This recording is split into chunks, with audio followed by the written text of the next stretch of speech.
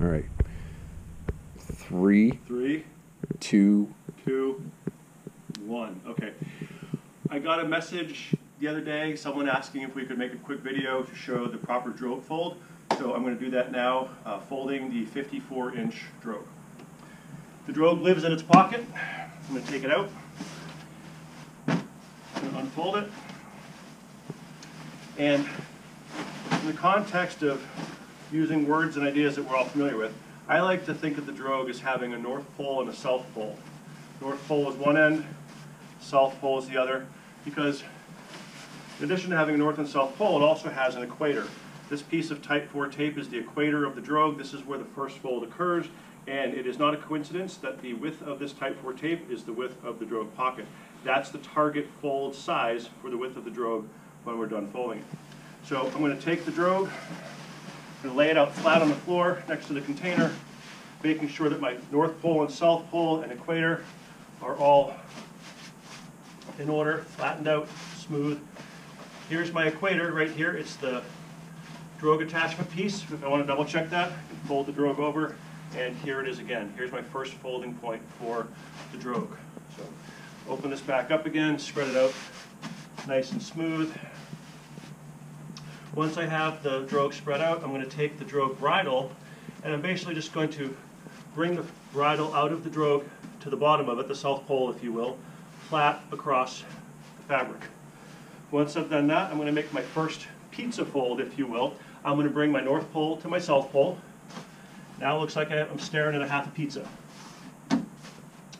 Once I've done that first fold, I double check just to make sure that the uh, type 4 tape is actually where the fold is occurring. It is, that's perfect. I'm then going to pinch the north pole, the south pole, and the bridle that's coming out of it flat. I'm going to make a second fold and bring that back up to the equator. Now that that is back up to the equator, I'm going to flat, smooth, bring the bridle back out the bottom of the fold.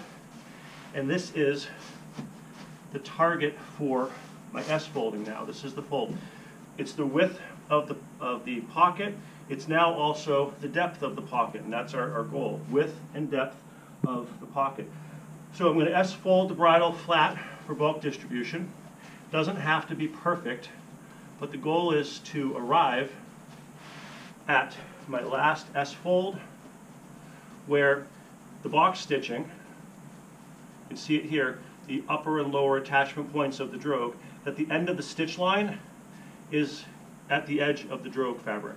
If you do that, if you place this stitch line at the edge of the drogue fabric on your S folds, then there'll be just enough bridle left to put the drogue in the pocket with excess bridle being able to come down into the bottom of the container. Just enough leftover bridle.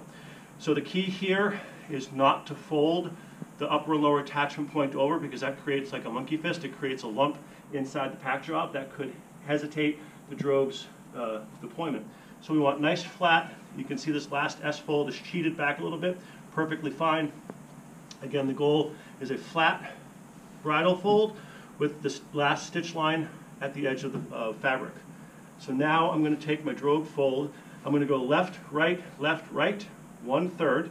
The most common mistake here, if you want to call it that, is to fold on the bridle. That first fold comes all the way over to the bridle. That's not our target. We do not want to fold it this far across. Our target is only to bring the drogue over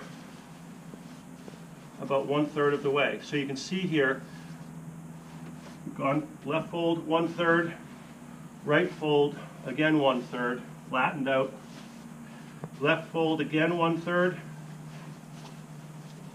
right fold now one third.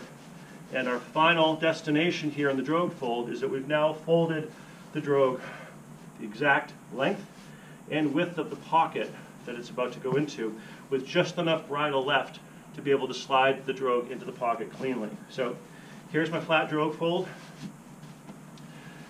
The key here now, we have a flat drogue fold, like an envelope, is that like a taco shell or a hot dog bun, the opening of the fold has to be towards the rear of the container.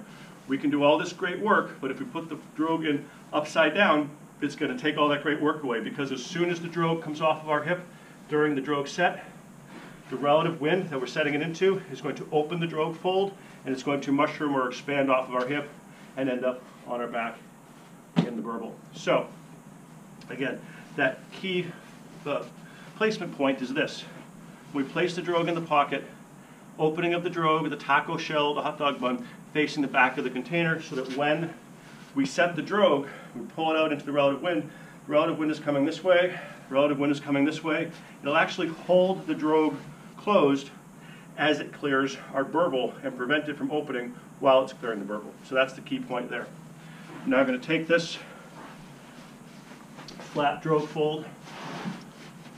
I'm going to turn the rig on its side. And because it's a nice flat, smooth drogue fold, really easy to get into the pocket. Super simple. There's no bridle left over exposed, hanging out to accidentally catch air. The pocket is, excuse me, the width of the fold. That Type 4 tape, again, is the width of the pocket. And then there's a advanced rigging technique that was taught to me by Pablo called applied violence. We just give it a little flat smack on the bottom of the container. That will smooth out any of the roll created by pushing it into the pocket. So now we have a flat, smooth drogue throat fold that is easy in, easy out. There's no hesitation on it, nothing catching it. It's firmly secured in the pocket, but as soon as we need to set it, it's ready for immediate uh, deployment. That being said, don't prime your drogues. You don't need to do this. You do a proper drogue fold and use a proper drogue setting technique, you do not need to prime the drogue. Please don't do that. That is the drogue fold. Thank you.